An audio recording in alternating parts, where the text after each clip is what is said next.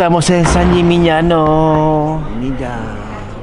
Bueno, hay que decir la chorrada de siempre que se la conoce a esta ciudad como la Manhattan de la Edad Media por sus torres. Tiene más de 30 y claro, pues se ha conservado, cosa que en el resto de ciudades y pueblos de la Toscana no se han conservado tantas. Aquí sí.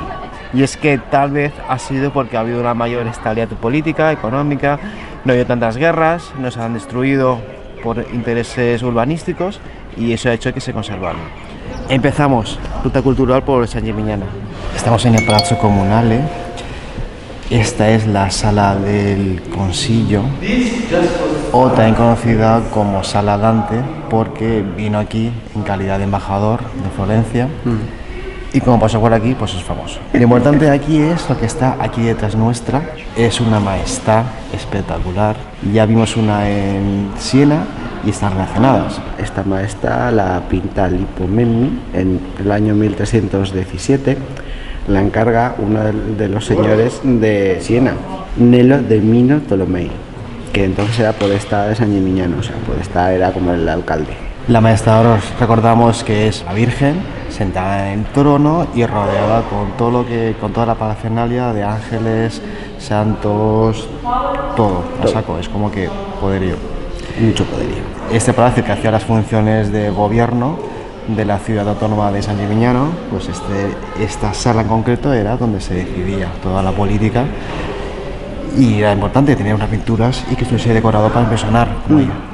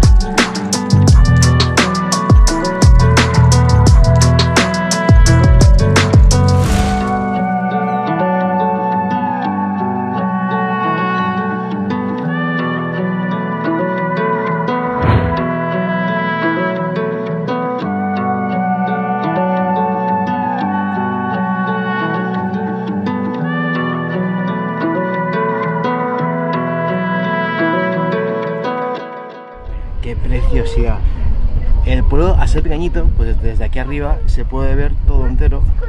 Se puede apreciar cada una de las torres, seguir un poco la muralla, el trazado, todo el valle, toda la vista panorámica. Es precioso, o sea, no se puede describir. O sea, es muy fotográfico el pueblo y desde aquí bueno, es muy chulo. Así que este sitio sí que os lo recomendamos que subáis. No se puede subir a, a todas las torres. Vemos que ahí hay una, que hay gente. Solamente vamos a subir a esta y, ya está. Bueno, no os- imagináis cuánto hemos comido.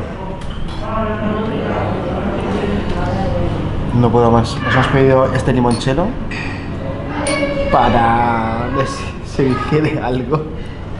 Porque bueno, está todo muy bueno. Ha sido muy abundante. Pero bueno, mi pizza con trufa estaba. Al principio estaba como fuerte, luego ya me he acostumbrado. Pero bien, estaba bueno. Está muy bueno. La verdad que sí. Da vero que sí.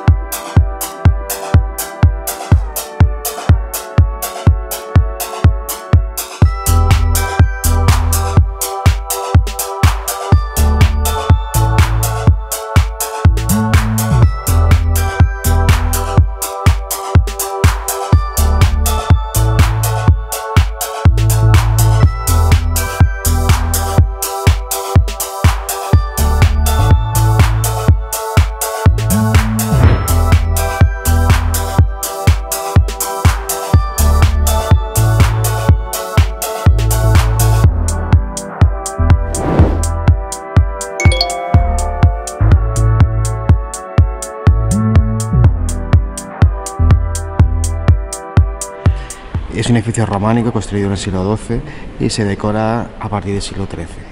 Como ha dicho, Lo bonito de esto es que se ha conservado prácticamente la totalidad de las pinturas, que hasta ahora no hemos visto así ninguna.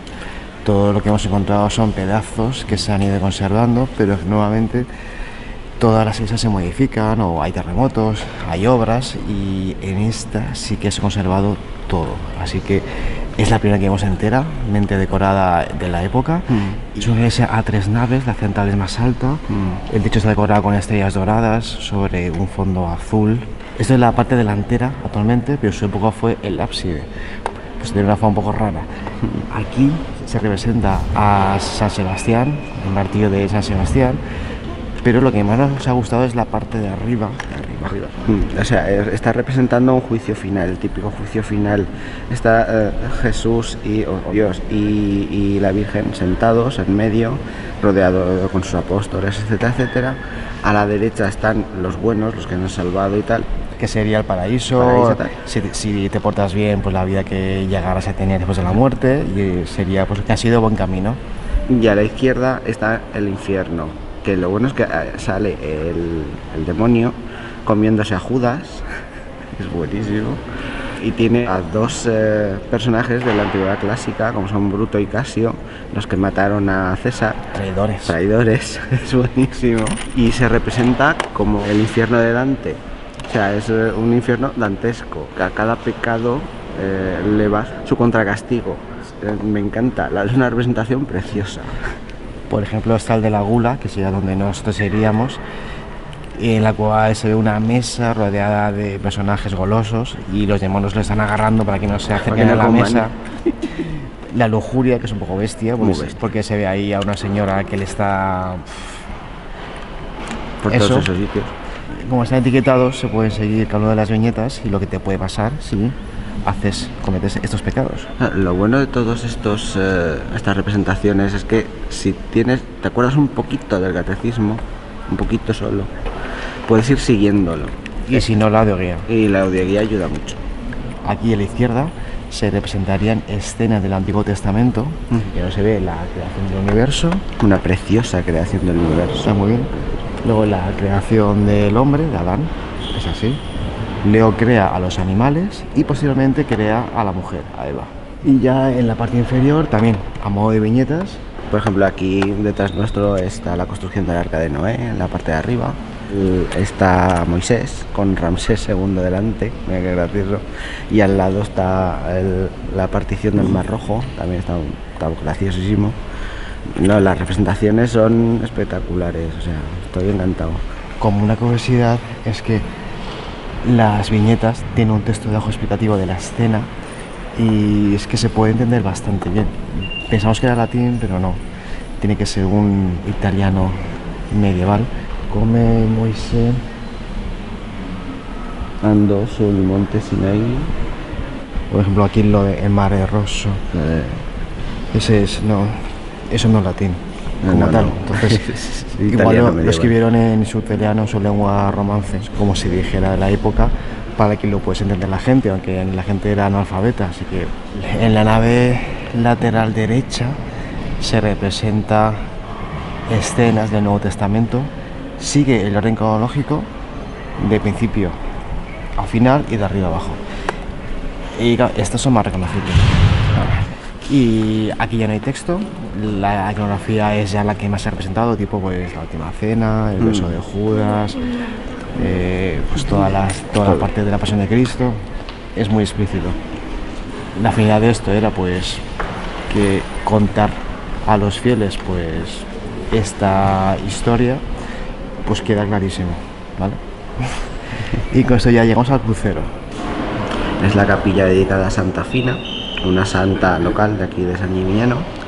Eh, la pinta Guirlandayo, aparte de otros artistas locales eh, eh, en cuanto a, a escultura y decoración, pero claro, yo me he centrado en lo que es la pintura y, y tenía muchas ganas de verla. la- es una preciosidad.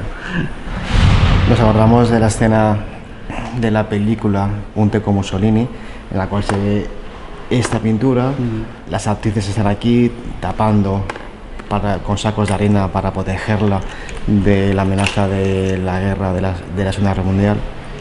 Toda la capilla se construye y se pinta en la misma época, es decir, se hace todo a la vez. Mm. Es del 480 y bueno, pues tiene esa homogeneidad escultórica y pintórica que raro encontrar. Así que en la capilla están supuestamente las, los restos de la santa, de Santa Fina, la cual murió a los 15 años y por decisión propia decidió yacer sobre una tabla de madera que está aquí todavía. A la derecha se representa a, Santa Fina en la tabla, acompañada de su nodriza y de la hija de la misma, y se le aparece San Gregorio para decirle que la palma. Y a la vez se ve como en la tabla surgen unas violetas amarillas. Sobre el 12 de marzo, que es cuando se conmemora la muerte de la santa, dicen que aún aparecen esas flores amarillas en las torres. Denominadas violetas de Santa Fina. Y luego a la izquierda ya se representa lo que sería ya su muerte. A la vez, una vez muerta ella, obra milagros. Se, eh, se ve que junto a ella, tocando de la mano, está su nodriza, la cual se cura de una parálisis en la extremidad. En los pies tiene a un niño que está como llorando ahí eh, junto a ella ciego y se cura. Y de fondo se ve la, ciudad, se reconocen las torres. Mm. Entonces es un cuadro que es una pintura que da mucha información. Es la santa de la ciudad que le tiene más devoción. es la santa de la ciudad, directamente. Nació aquí. Aún se puede, aún se puede ver la casa Santa Fina por ahí. se ve mm, indicada.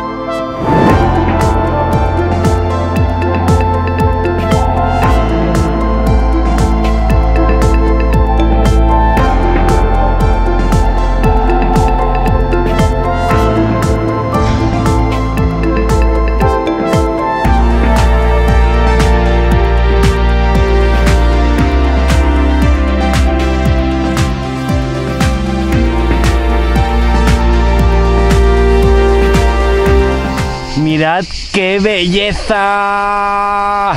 Eso es lo que buscábamos, nos ha costado un poquito encontrar la referencia, pero al final como buenos peregrinos lo hemos encontrado.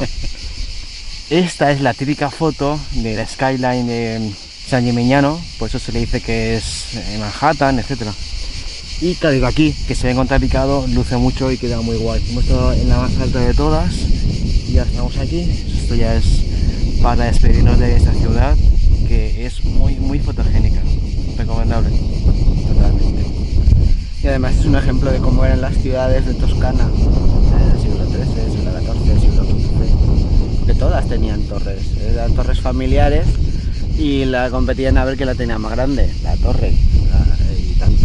Ahora creo que quedan 17 de unas 36 o algo así. Por tanto, todas las ciudades de la Toscana, todas las ciudades-estado, porque eran ciudades-estado, tenían este tipo de torres. Incluso hay representaciones de la ciudad en pinturas antiguas en que se ven no solo estas, sino en todas un montón de torres como esta. Ya, vamos a decir adiós con mucha pena de San Gimignano y continuamos en Coche Cultura. Queda poquito, pero continuamos. Más, más.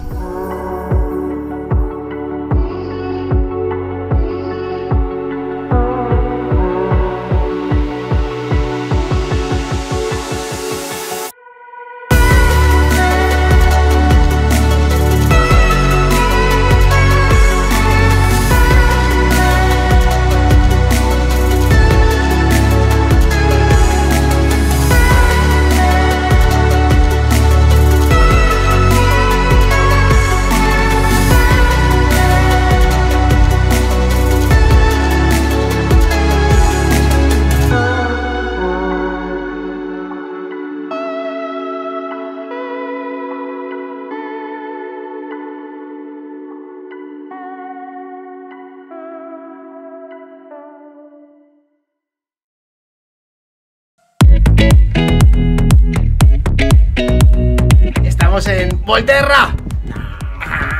Es el palacio más, de este tipo más antiguo de toda Toscana. En este recinto, lo primero que se construye es el teatro hacia finales del siglo I antes de Cristo.